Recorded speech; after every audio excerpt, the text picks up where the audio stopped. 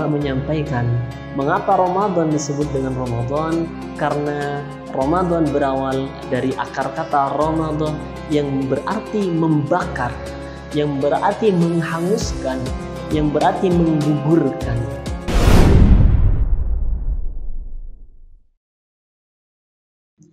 Assalamualaikum warahmatullahi wabarakatuh.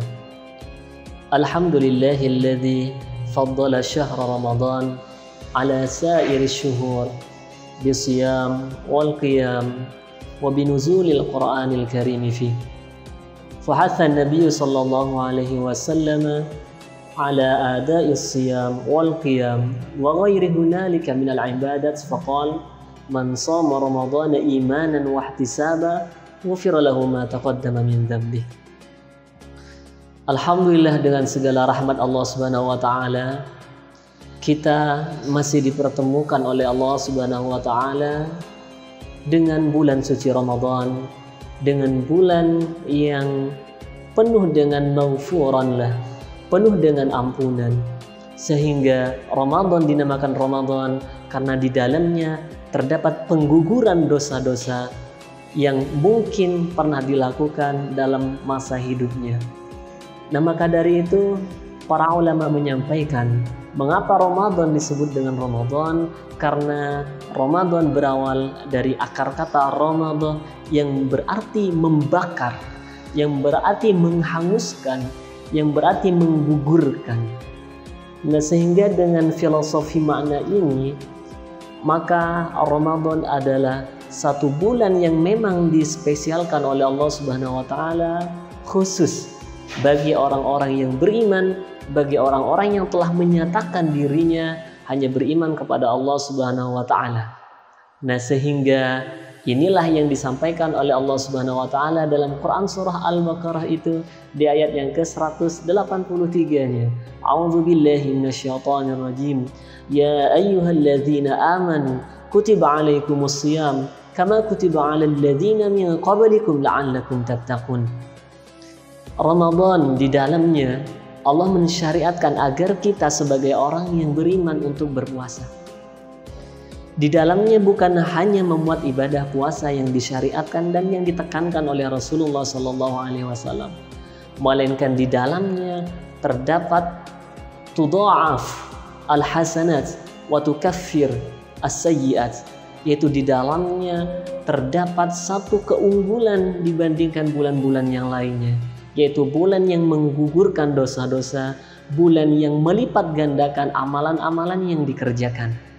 Maka Allah Subhanahu wa taala melalui Quran surah Al-Baqarah tadi di ayat yang ke-183 menyampaikan yaitu orang-orang yang telah menyatakan dirinya beriman telah disampaikan oleh Allah Subhanahu wa taala bahwa puasa ini kutiba alaikum kama kutiba alal ladzina min qablikum kutiba alaikumus siyam kama kutiba alal ladzina min qablikum puasa ini bukanlah semata-mata diwajibkan kepada kita semuanya melainkan puasa juga pernah diwajibkan oleh Allah kepada umat-umat terdahulu. Namun bulan suci Ramadan menjadi bulan yang sangat mulia karena memiliki keutamaan yang jauh berbeda dengan bulan-bulan yang lainnya. Ataupun dalam pelaksanaan puasa oleh umat-umat yang lainnya.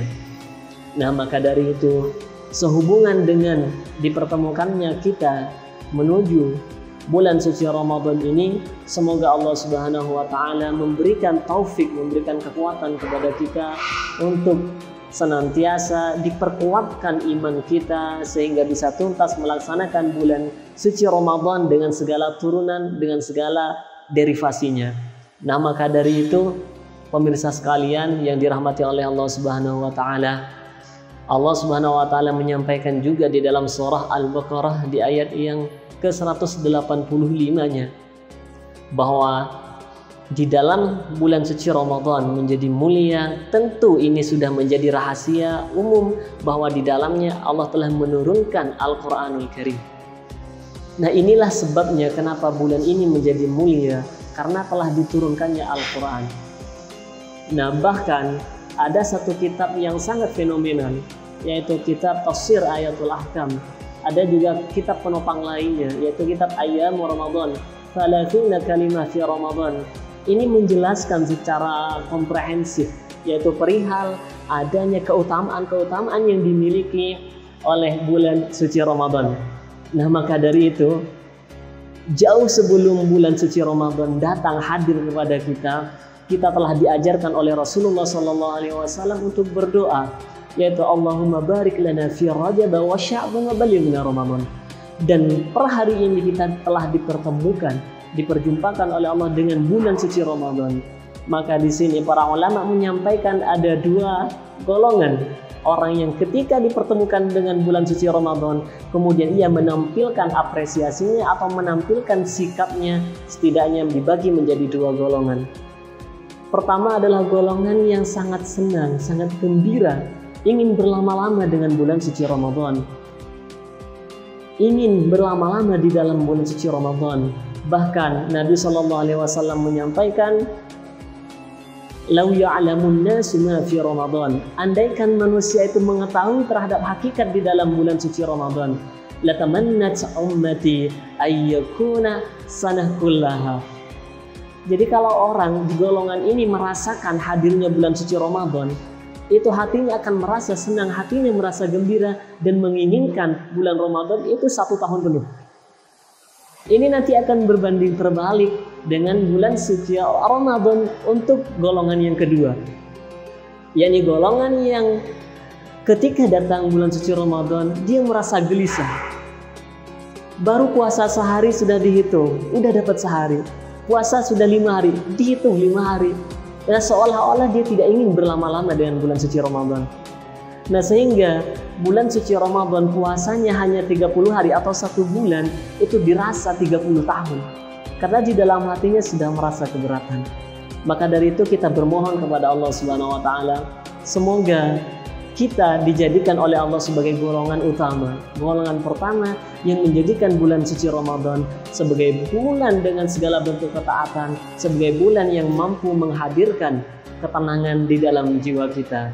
Nah, barangkali inilah yang perlu disampaikan bahwa kita dipertemukan oleh Allah dengan bulan suci Ramadan ini bukan karena apa-apa, yaitu adalah la'allakum tattaqun agar kita senantiasa diberikan ketakwaan yang melebihi ketakwaan pada umumnya atau dalam arti agar ketakwaan kita lebih meningkat dibandingkan ketakwaan kita yang sebelumnya. Mungkin inilah yang bisa disampaikan. Semoga Allah Subhanahu wa taala memberkahi kita semuanya dan memberikan kepada kita kehidupan yang luar biasa, sakinah, mawaddah dan rahmah. Assalamualaikum warahmatullahi wabarakatuh.